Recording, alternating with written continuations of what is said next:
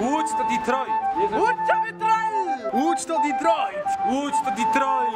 Łódź to Detroit. Detroit. Detroit. Dzień dobry. Dzisiaj rzucimy okiem na memy wyśmiewające jedno z większych polskich miast, składową polskiego trójkąta bermudzkiego, czyli Łódź.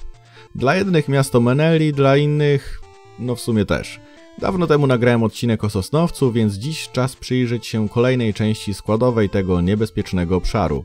W sumie patrząc na poprzedni odcinek o memach z Ohio, to można powiedzieć, że Łódź to takie Ohio po roku na Podlasiu. Boat City to czwarte największe miasto w Polsce, zarówno pod kątem powierzchni, jak i ludności. W odróżnieniu jednak od Wrocławia, Krakowa czy Trójmiasta, nie zachwyca reszty Polski ładnym rynkiem i zadbanymi ulicami. W internecie Łódź kojarzy się z brudnymi kamienicami, kibolami pytającymi się czy jesteś Zawidzewem czy ŁKS-em, no a najbardziej popularnym mieszkańcem tego miasta jest Tiger Bonzo. To was to gówno obchodzi, co w Łodzi robię. Dodatkowo Łódź wygrywa niezbyt chlubne plebiscyty na najbrzydsze miasto w Polsce, a nawet do rozbiórki budynków w Łodzi używa się Opla Corsy. W sumie ja będąc ze Szczecina nie powinienem specjalnie się nabijać ze stolicy województwa łódzkiego, natomiast faktycznie nie jest to najpiękniejsze miasto w Polsce. Żeby złapać szerszy kontekst, jak do tego doszło, musimy cofnąć się w czasie o jakieś 200 lat, ponieważ ciśnięcie po tym mieście nie zaczęło się wcale kilka lat temu w internecie. Ostrzegam, poczujecie się tu jak na jakiejś lekcji historii. Dalszy tekst oparłem na rozprawce historyka Igora Rakowskiego-Kłosa. Łódź bardzo długi czas była po prostu zadupiem, typową średniowieczną wioską, którą mało kto się przejmował. Wszystko zmieniło się w okolicach roku 1820, kiedy polski polityk Rajmund Rem Bieliński spojrzał na Łódź i powiedział, że tu na razie jest ściernisko, ale zrobimy centrum sukiennicze.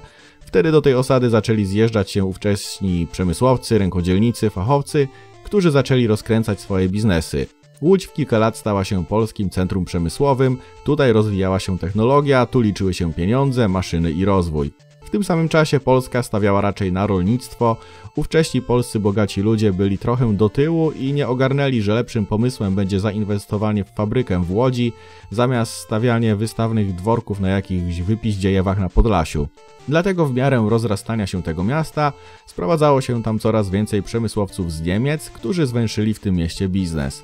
Nowi przybysze nie do końca chcieli obsadzać na wysokich stanowiskach Polaków, uważali, że polskim inżynierom brak doświadczenia i nie garną się do roboty, w związku z tym sprowadzali coraz to więcej imigrantów z Niemiec lub Czech. Fakt bogacenia się w Łodzi osób innej narodowości spowodował złość polskiej stolicy.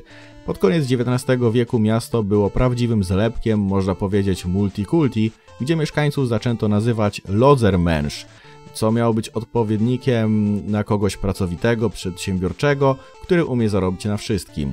Łódź zaczęła wywyższać się na reszcie Polski, czy wtedy raczej na reszcie polskich ziem pod okupacją, tym, że była bogata, jednakże to dziennikarze czy pisarze kreowali ówczesną rzeczywistość i potrafili jechać po łodzi jak po psie. Na przykład słynny polski pisarz Władysław Reymont był jawnie nieprzychylny łodzianom. W swojej powieści Ziemia obiecana wyjaśniał bogatych właścicieli fabryk w Łodzi, że są o wiele gorsi od właścicieli ziem rolnych.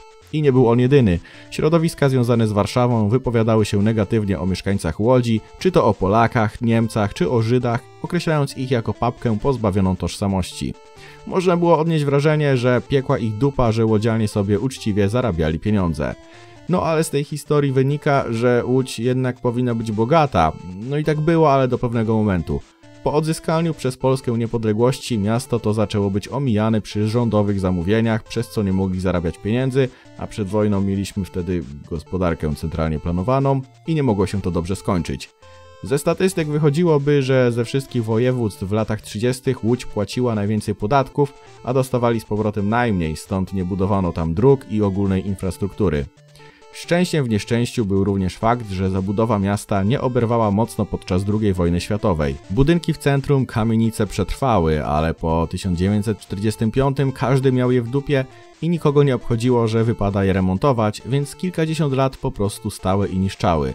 Jak przystało również na czas PRL-u, to po niemieckie fabryki włókiennicze zostały przejęte przez państwo i delikatnie rzecz mówiąc, pod koniec życia tego ustroju nie były one wystarczająco wydajne, dlatego po 89 zastosowano terapię szokową, zamykając te fabryki, co o ile okazało się dobre dla finansów i budżetu, to wyrzuciło na bruk kilkadziesiąt tysięcy pracowników, a tu nie muszę tłumaczyć, że bieda, brak pracy prowadzi do rozmaitych patologii. Oczywiście chude lata 90. nie dotyczą tylko Łodzi, ale w dużym skrócie tak wygląda historia tego miasta. Poprawdzie jakieś tam żarciki w odniesieniu do tego miasta pojawiały się zawsze, jak na przykład słynny cytat z filmu I Love You z 1999. Łódź, kurwa. Ale jednak faktyczna moda na robienie sobie żartów z Łodzi zaczęła się dzięki Bogusławowi Lindzie w 2015. W roku tym aktor ten brał udział w zdjęciach do filmu Powidoki Andrzeja Wajdy, które odbywały się w Łodzi. Podczas wywiadu dla Radia Łódź nazwał to miasto no niezbyt ładnie. No, Łódź zrobiła straszne błędy, zamykając te wytwórnie, bo straciła kulturę. A samo miasto miał pan okazję. Miasto jest umarłe, to jest miasto Meneli tyle. Była to mało rozsądna wypowiedź, bo skończyło się nie tylko oburzeniem mieszkańców, ale również sama ekipa filmowa zaczęła mieć problemy, a Bogusław Linda stał się wrogiem numer jeden. Rany boskie, co ten Boguś wygaduje? Okoliczni mieszkańcy poczuli się dotknięci słowami Bogusława Lindy, w których określił Łódź jako miasto Meneli. Nakrzyczałem do niego, a on przełaził przez bramę tylko na planszę. I się schował jak mysz, kurde, pod miotłą. Niedługi czas później łódzki influencer WW nagrał filmik z humorkiem, pytając się mieszkańców Łodzi, co o tym myślą. Czy uważa pan, że Bogusław Winna ma rację? Łódź to miasto Meneli? To skąd? Niech spada na drzewo i z łuku niech strzela. Nie, generalnie facet popłynął, a, później płynął, cała reszta płynie dalej. Nie, nie słyszałem, bo ciągle byłem pijany. Na świecie ciężko oczywiście, żeby Łódź stała się memiczna, skoro symbolem zaniedbanego, biednego miasta jest Detroit. Swego czasu jednak popularne w ogólnodostępnym internecie stało się zdjęcie hotelu Alicja, ulokowanego w pobliżu elektrociepłowni w Łodzi, gdzie zdjęcia zrobione do celów reklamowych pod odpowiednim kątem nieco różniły się od rzeczywistości. No ale trzeba oddać, że jakiś czas temu budynek, jak i okolice przeszły gruntowną renowację.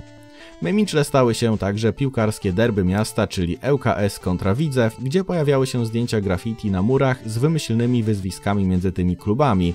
Trendowało to w internecie w okolicach 2012. Widzew zasunął także memicznymi odniesieniami, że kibicami tej drużyny są Żydzi.